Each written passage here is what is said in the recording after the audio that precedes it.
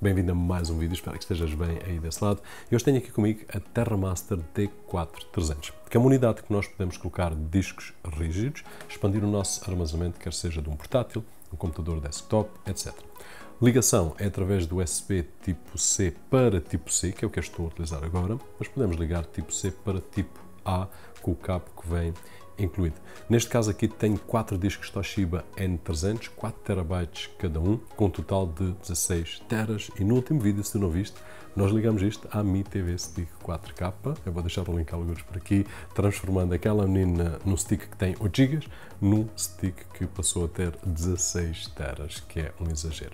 Uma coisa que não é exagero é quando precisaste de inteiros a preços espetaculares, com uma qualidade muito boa, então não te esqueças de visitar o site da Forprint, onde vais encontrar consumíveis a preços espetaculares, com uma qualidade muito boa e, claro, como sempre, suporta forprint.pt, que entrega em 24 a 48 horas e é o patrocinador deste vídeo. A nível de unboxing, eu vou deixar no final do vídeo, até porque não traz assim nada de especial dentro da caixa, para além da unidade, e este vídeo está a ser gravado com o Comica Boom XT Pro, para referência quando eu fizer a análise principal.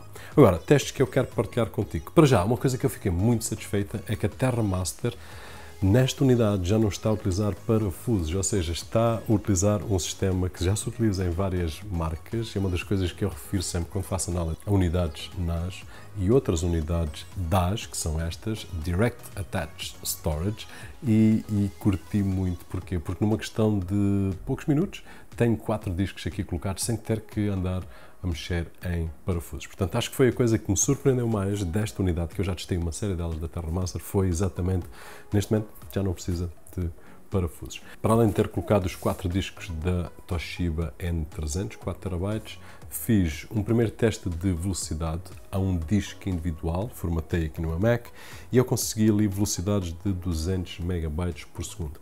Referir que a ligação que nós temos aqui é uma ligação USB tipo C de 3.1 geração 1. Portanto, teoricamente, vamos conseguir velocidades superiores a estas.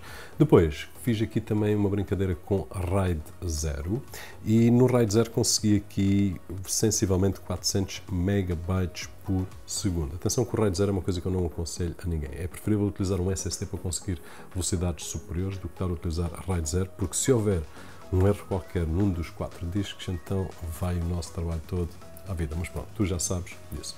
Experimentei com o RAID 1 e o RAID 1 ele conseguiu velocidades mais ou menos, ou seja, fiquei aqui com 110 de escrita e 248 na leitura. Portanto, eu optaria, neste caso em particular, por trabalhar com discos individuais. Só para testar aqui também as velocidades, coloquei um WD SSD e a nível de velocidades consegui 400 MB por segundo. Aquele disco consegue escrever um bocadinho mais, portanto, estamos aqui a ver os limites desta ligação, que teoricamente devia de ser um bocadinho superior, mas não estou a conseguir mais velocidade do 400, 400 e pouco megabytes por segundo. E agora, para fechar, a nível da unidade em si, qualidade de construção, irrepreensível. TerraMaster ao longo dos anos tem vindo a fabricar estas unidades plástico à frente, plástico atrás, com umas ventoinhas silenciosas e o resto é um corpo de metal. Portanto, são unidades muito bem construídas. O software deles às vezes fica um bocadinho atrás de outras marcas, mas eles acho que compensam através do preço. O feedback que eu te posso dar é se andas à procura de uma unidade DAS, Direct Attached Storage, que é este que está aqui, ao contrário da NAS, que nós vimos também esta semana, que é Network Attached Storage, ou seja, ligação direta ao computador e Network é ligação à rede. Então a TerraMaster tem algumas soluções, tanto em DAS como em NAS, e a nível de preço um bocadinho mais equilibrado para aqueles que não precisam também de coisas muito complexas a nível de software, etc, etc. E não quero perder mais do teu tempo, até porque esta semana tem sido só armazenamento, tu já deves estar farto de ouvir falar em discos e NAS e DAS e coisas assim.